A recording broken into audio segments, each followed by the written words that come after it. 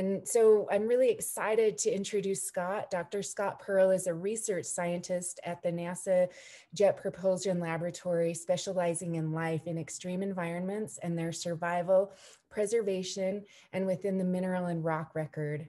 Dr. Perl is also the co-principal investigator of the JPL Origins and Habitability Lab. Alongside JPL, Dr. Perl is a research affiliate in the mineral sciences at the Los Angeles Natural History Museum and an astrobiologist with the Blue Marble Space Institute of Science. So Scott, take it away. Come tell us all, everything you know. Thank you, Jamie. Thank you, Bonnie. Thank you for everyone for for this whole setup. And it's it's it's really awesome in terms of of of all the events tonight and all the all the speakers. So I will share my screen and we'll go through uh, some of the slides. And so um, I want to start off in terms of the first real data set that I was able to work with um, when I was in college. And so um, this is back in 2005 and there's a running joke and I'll, I'll, I'll make my screen full screen after this, but um, can everyone see my screen just to make sure? Yeah, you're good. So uh, back in early 2005, um, within the Burns Formation on Mars, prior to the MER rovers, these are the Mars exploration rovers, um, we had saw um, in terms of just large scale orbital data um, that there might have been channels and deltas and essentially old signs of water that essentially traverse through certain features of Mars. Um, but in terms of the actual timeliness and how how long water actually interacted with the Martian regolith uh, was was was still to be determined. And so when it came down to understanding um, essentially water rock and water mineral relationships, uh, it was this outcrop that we saw in early 2005, and, and you can see from the backdrop uh, that we're still on the actual rover landing pad, and so we hadn't left yet. And this was the first assessment. This was the very first panoramic image. Um, you can see off in the distance um, these somewhat protruding outcrops, uh, and these are, are essentially part of the regolith that's present on, on in this crater if you were to zoom in on any, or at least kind of see your eye on these kind of elongated bedding planes along the actual outcrop, more so in this part on the right, when you zoom in on those areas, you see features uh, that look very similar to, or at least this is actually the actual image you see when you zoom in uh, um, on, on that right side of the image. And so uh, my first assignment as an undergrad essentially was to piece this together. And so this is showing rounded grains that are laminated in this large cement. And so when you think of water coming down a stream, you essentially have rounded, you know, rounded pebbles and rocks you're able to skip along the water. This is equivalent to that in terms of the groundwater that essentially permeated through the surface. Now, we usually land at craters, Jezero crater in the next um, 20 plus days. We usually land in craters uh, because it gives us a natural dig site in terms of the actual sedimentology uh, of the rocks and minerals that are present. And so what you're looking at here from from the bottom up, if you will, uh, is going essentially deep in geologic time. And so the timing that that the waters are present on Mars, as as Bonnie mentioned, about three and a half to 3.8 billion years ago, that timing is constrained relative to the water rock and water mineral interactions that are present um, where we can relatively date these same features. And so if you have minerals and rocks that are modified by water and those and those minerals and rocks can be dated, you also date the water that's present that modified them. And so um, what you're looking at here is essentially um, the rise and fall of a groundwater table, of a, of a long scale um, actual groundwater table uh, that was dormant uh, um, and essentially static in these in these rounded um, or in these bedded planes. Now, if you remember back, you know, now 16 years ago, there were the Martian blueberries, which are these features that are here. These are hematite concretions. Um, the main reason why we landed at this site was was an iron oxide called hematite. It's it's it's iron two and three parts oxygen. Um, that that's found on Earth with standing bodies of water and hot springs. And so this was found with the thermal emission spectrometer um, that was on board a Martian orbiter uh, about four years earlier. So when we think about water on Mars, we we immediately go to habitability. And so when it comes down to understanding if if a planet was actually habitable, you have your global extremes when it comes down to which parts are more or less habitable relative to one another. But if you have a planet that is habitable, it doesn't mean that actually it is fully inhabited. And so in terms of life detection versus habitability measurements, those are completely different things. And so we tend to have these alongside water because as a solvent, uh, water is a or is is a very good universal um, solvent to have life within its own natural petri dish. And so you can think about features in terms of Europa and Enceladus, for example, certain moons in our solar system that have deep kind of ocean ice interfaces with with a, with a large scale ocean underneath that has present water right now. On Mars on the surface, however, these are features that uh, um, you've you've lost all the water over geologic time. And so when it comes down to the Martian timescales and so forth, um, if you're looking for extant life that's present on Mars right now, it needs to have some kind of solvent in order to actually fully go about its nutrient processes and also metabolic processes, nutrient cycling. So these are features that you would need to have some sort of, essentially in this case, kind of deep subsurface water, potentially an aquifer on Mars, where the water is away from the from the dangerous UVC that's actually permeating through the surface. Um, as was was mentioned earlier, when when when Mars lost its full atmosphere, um, the the the full destructive power of UVC made its way through the atmosphere to essentially sterilize the whole surface. And so um, when you have these features, uh, when you, in terms of, of the Mars exploration rovers and also MSL, that was designed to look for habitable environments, more so MSL than MER. The Mars 2020 rover is taking the next step in that with regard to looking for if these environments that we've deemed are habitable, what's the potential for life to, to, to have been left behind?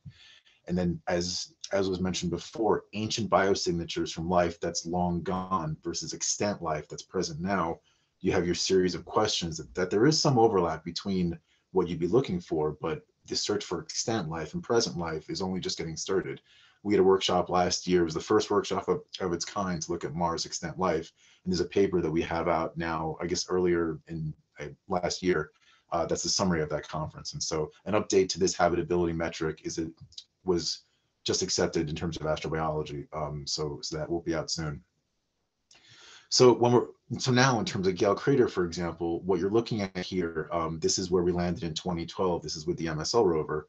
You're essentially kind of sitting in a in a in a former lake bed that that's all fully dried up. And so um, for the untrained eye, or at least to look at these features, you can see with my mouse, here are these essentially layered bed crop features that that when you zoom in, and I'll go into the next slide, you can see rounded spherical rocks and minerals that that essentially have been physically weathered by the lake bed waters that was one that, that were once here. And so again, this is about 3.5 to 3.8 billion years ago. So the presence of the minerals that are relatively dated to that time scale means that the waters that were present had to have been that old. And so um, that's a that's a very neat feature because Mars doesn't have plate tectonics. So when you have features, so the entire planet is one basaltic plate, if you will. They're, they're in terms of oceans, those don't exist. And so you have these these these rivers and streams and deltaic features. All of Jezero crater is actually a giant, or at least most of Jezero crater is actually a giant delta that I'll show in a few slides. Um, but but the actual fluid movement in this case, if life was present in here, it essentially precipitated the minerals that have formed as those waters dried up you would see features like this. And so this is zooming in, this is to the left side of the rover.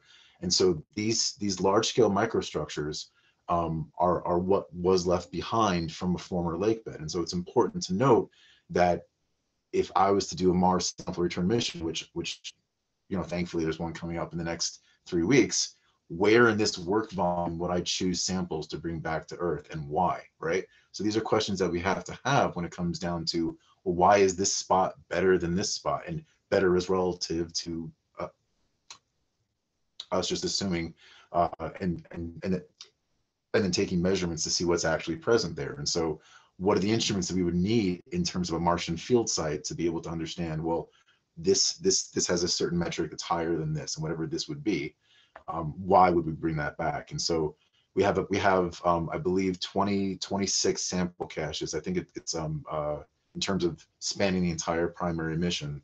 Um, and so we have to be selective about what we choose. So in terms of looking at this globally, and I'll, I'll kind of go into what these are, on the left side, this is this is essentially two two different rover missions on one slide. But on the left side, you have these salt minerals that were essentially dug up via a trench from the Spirit rover. This is going back to 2005, 2006. Um, and this is on the other side of the planet from, from what I just showed in terms of Gale Crater. So there's so there was a wheel that was not working um, throughout the majority, or I guess throughout the, the, the whole mission for the Spirit rover, and it was dragging behind Regolith as it was driving forward. Thankfully, there were six wheels and they were powerful, or five working wheels, and and, and that was powerful enough to uh, to actually dig a trench as we were going forward, depending on where we were going direction wise. So in terms of looking back at the trench, we noticed very early on high contents of silica as well as the these hydrated salt minerals that were embedded uh, in the Martian regolith. And so this is this is just on like the like the shallowest part of the subsurface, where if you can dig your hand and move some of the regolith aside, you, you'd actually see this. So this tells us that the groundwater table permeated up potentially through the surface. Um, and we see with the Martian blueberries that these features, um, as as those waters uh, froze and evaporated potentially at the same time to yield what those iron um, other hematite spherules were. Uh, this is water that that percolated through the surface and then breached the surface. And you can see this in terms of what hasn't been oxidized yet. This is just below the, uh, the actual shallow subsurface. And so when you look at a certain global perspective of Mars, all the icons, and I have a, a larger picture of this in a few slides, um, all the all the actual colored icons that you see on the right side are all minerals that have been hydrated or essentially modified by fluids. So you have this really nice pattern here between the northern lowlands and southern highlands of where these fluids actually were. So if you're going to send a rover mission to a crater, you best believe that we would actually pick a site that that has a huge majority of these icons. And so it makes sense given the natural field site that's there. But the point of it being that the timing of the fluids and what the mineral kinetics, so these are all different mineral suites. It's it's you know it's not it's not a surprise that you have clusters of certain minerals that correspond to a certain set of kinetics of volumes of water that would actually precipitate once they're evaporated to actually form what those minerals are. That's important to keep in mind because kinetics here on Earth and Mars are the same. So we use that for timing. It's very important.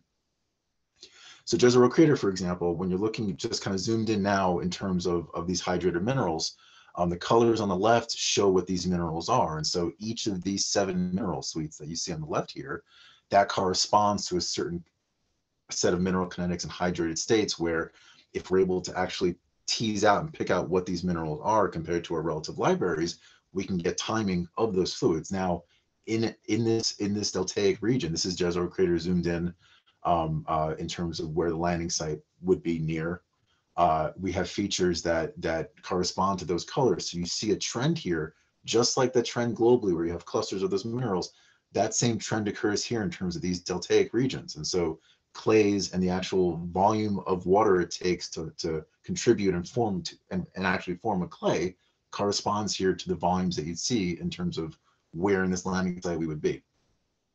And so Great Salt Lake, for example, is, is your kind of rewind in terms of Jezero Crater where you still have water present. And so what's happening here on the shoreline, and and as Bonnie and and folks mentioned, uh, within the actual spiral jetty, you have the constant moving of those waters and precipitation of these minerals. Now, when it comes down to to, to the work that we've been doing there, um, as you're going through and getting gypsum as well as halite, you have different preservation metrics when it comes down to what you can see in terms of the carotenoid biomarkers. And so that's what makes these actual pigments pink there's an element of photobiology where the actual halophiles are corresponding to UVA and B with it that's that's being subjected to the salt terraces that are there, and they're producing these actual carotenoids to actually filter and fight against UV radiation. Now on Mars, when it comes down to UVC versus Earth's UVA and B, what would these features look like in terms of Jezero crater? And so this has yielded um, a, a, a slew of results for work that Bonnie and I have started and then spin-offs um, over the last seven years. And so I'll go into some of those now. Um, we have a paper that is in revision right now that actually examines these same carotenoids, but hopefully the video is clear, is, is actually showing in terms of uh, the actual cell motility. Um, but as done in previous studies, as as well as our, our most recent paper, the halophiles that are entombed, essentially zooming into a fluid inclusion that's within a salt crystal, essentially. Um, uh, the same kind of salt crystal that Bonnie showed um, um in on her video, uh, you have these these these extremely massive halophilic microorganisms in terms of the biomass and actual biology that's present here. You can see them motile inside of fluid inclusion. Now we use Raman spectroscopy to essentially vibrate the atoms of both the carotenoid pigments, the actual cells themselves and the minerals that are that actually house all of these features all in one spectral feature. So, um, so in terms of vibrating them, it, it, it will it will be able to actually detect all all the organics, all the biology, as well as the mineralogy. Now, halite is Raman transparent, so we actually have, have don't have to worry about the backdrop of the mineral here. So whenever we actually get data from you know field samples from Great Salt Lake all, or all around the world, we have a, um, a, good idea of that actual biology that's present and the photobiology that's actually occurring due to actual gene adaptation for those photobiological features, those stresses that, that they're adapting to. So with that in mind, zooming in on now what these look like on two different scales, you have the 100 micron scale on the top A and B, and then zoomed into two microns uh, in terms of C and D. And so you have these features that as, as, as, as you go through the Z axis, for example, uh, the actual focus of, of all of these fluid inclusions get higher or lower depending on as you're zooming in. And so this is not just one layer of salt crystals in terms of fluid inclusions. These are several layers within the actual mineral matrix. And so to get an idea uh, in terms of how robust this would be in terms of UVC, we've taken the beta carotene from these samples, or at least actually been able to entomb our own salt samples, and, and, and then subject them to UVC. This is what would be on Mars. And so, uh, um, well, I guess before I get into that, um, this shows that uh, in terms of the actual brine itself, on the left here, uh, you have a brine droplet that essentially, as as you're going counterclockwise, is evaporating. And so you're getting features here um, as the brine is getting smaller and smaller and smaller. Crystals are forming on their own, you know, from the like from those kinetics. Um, and so as that's actually happening, you have a higher concentration of these crystals as you're going counterclockwise um, as the brine is evaporating. So the salts are forming. And so on the top right, uh, you have these three black salt crystals that are in this this this like this small black and white image. And the green that's shown down here corresponds to the Raman wavelengths of beta carotene that we find in Great Salt Lake. Those are all linked together. And so basically the green shows where there's overlap between the salt crystals as well as the beta carotene. So you can see the majority as, as the brines evaporate, the majority of the beta carotene pigments get entombed inside the salt crystals. So you're getting a free preservation metric as as the brines evaporate. So on Mars, this is ideal, not just in terms of Jezero crater, but the entire planet.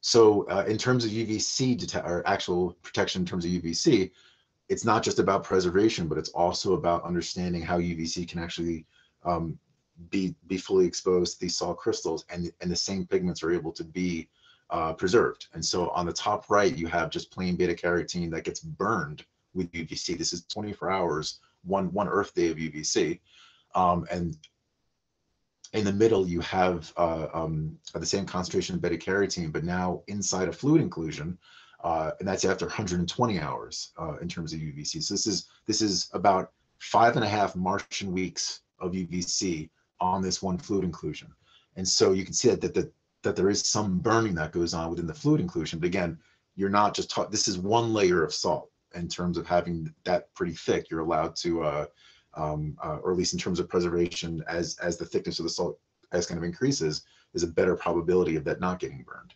Um, and then having this where uh, just the powder itself. Now we found along the way that when you do Raman analyses of these three burned features, they look the same.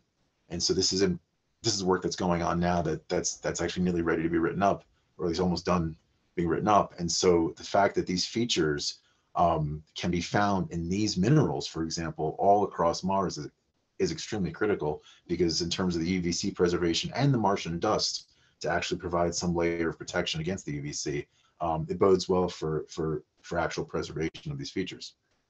And so um, the, I guess the previous paper to follow along with this, this is, this is in, in revision right now, uh, just in terms of seeing the actual diversity of features that are preserved in these salt crystals as well as gypsum, uh, both the, uh, this is both calcium sulfate as well as sodium chloride. Um, there is a trend between, uh, or at least a difference between the actual diversity if you have halite versus gypsum, and that and that bodes well because iron is actually present in in all of the samples that have gypsum. That that's the actual greenish dark parts that are here. And so the presence of iron leads to different microbial communities that are preserved inside the gypsum. And that's important because iron on Mars is prevalent. And so um, the difference in terms of DNA preservation between samples that have no iron and samples that have iron is, is about six to eight times more, more volumetric DNA inside the gypsum versus the halite. So that bodes very, very well because gypsum uh, is found on Mars. And so again, going back to these features, these are gypsum veins that are found inside Gale Crater alongside gypsum crystals that are found at Great Salt Lake. And that's my finger for scale, but these are a lot smaller. But the point is we know from Mars they can survive over geologic time.